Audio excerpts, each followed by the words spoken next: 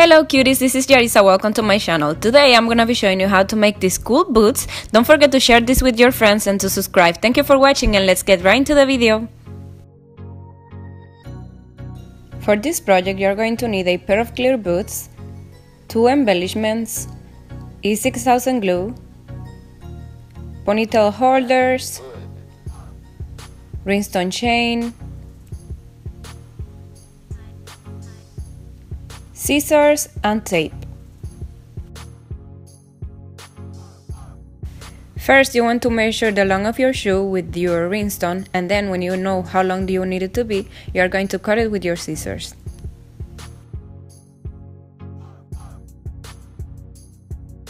I'm going to start applying the glue all around the border of the shoe and then I'm going to start applying the rhinestones.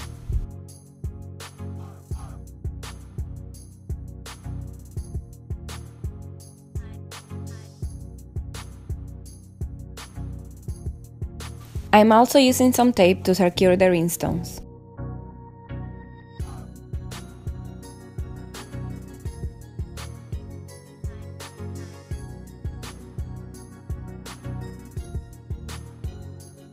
You want to repeat the same process on the other side of the shoe.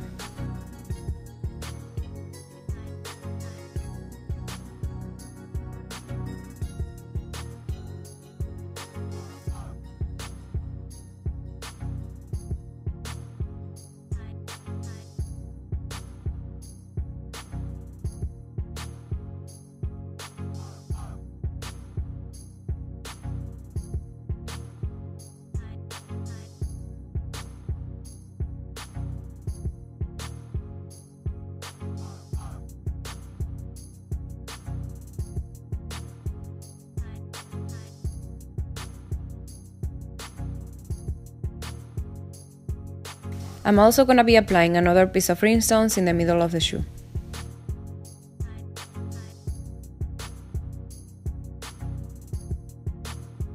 So far you should have something like this. I'm positioning the embellishments to see how I want them to look.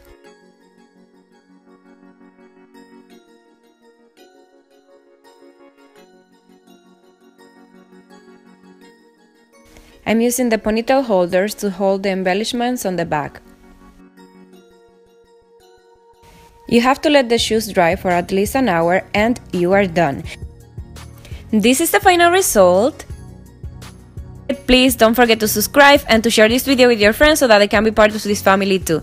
Thank you for watching and we'll see you in the next time. Bye! Mwah!